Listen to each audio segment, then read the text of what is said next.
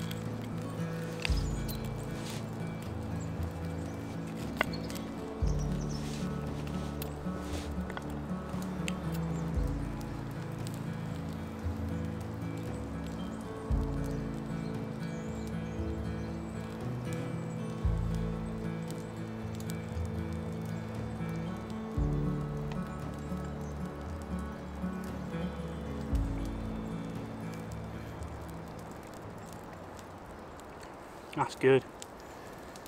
These are like a Italian, almost, it's almost got like a chorizo sort of like taste to it, but not quite as strong sort of sausage. They're a little bit spiced. Really nice. Got a nice crunch to the skin as well. Lovely.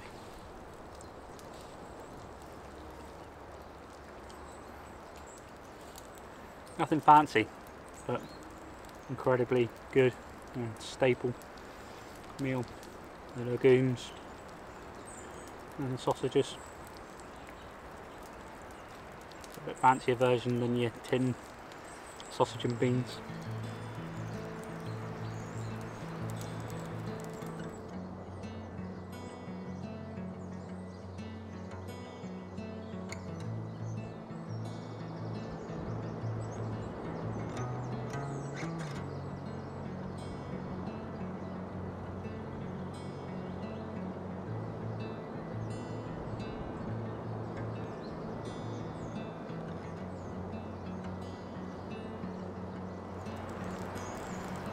Thought the weather was going to turn there for a minute. It um, really darkened up and wind changed and I thought for a minute it was going to rain.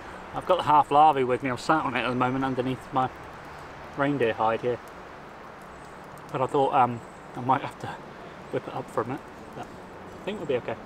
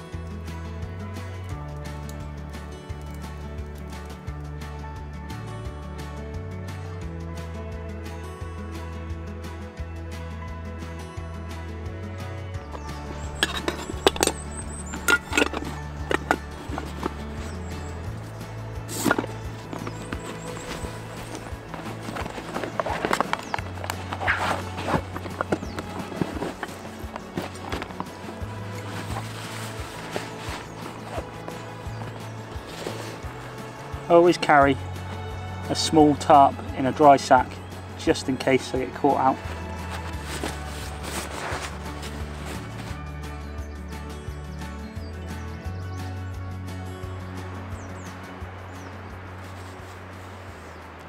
Well guys, hope you enjoyed today's video.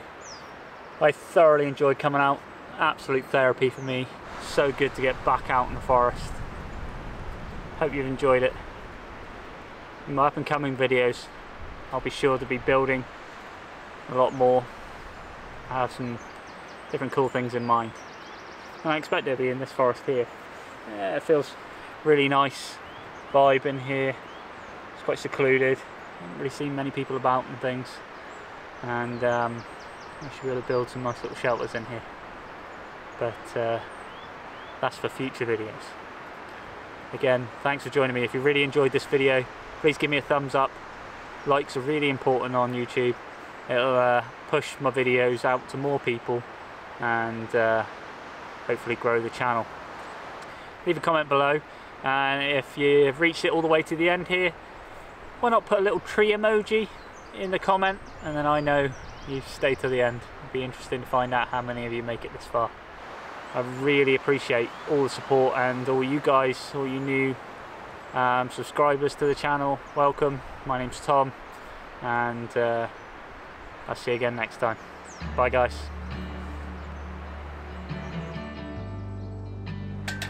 Here's a different one for you.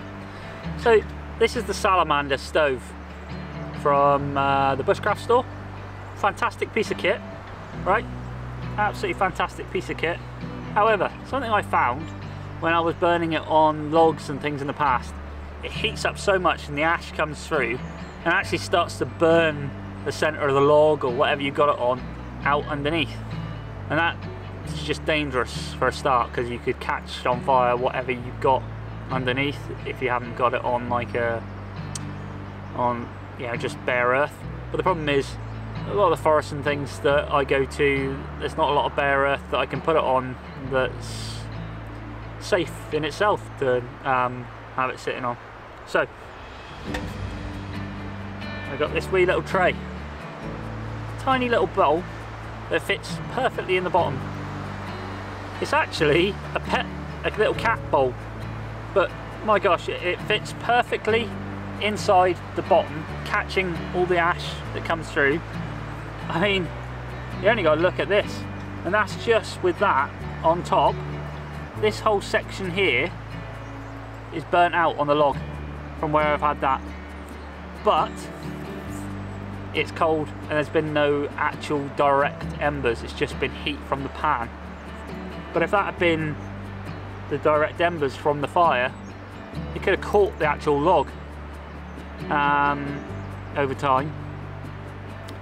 It Wouldn't be great. But that's a lot safer way of doing it. And I also sort of like think that it's nice that I can catch the ashes, I can control where they go, I can tidy them up. Take care, guys.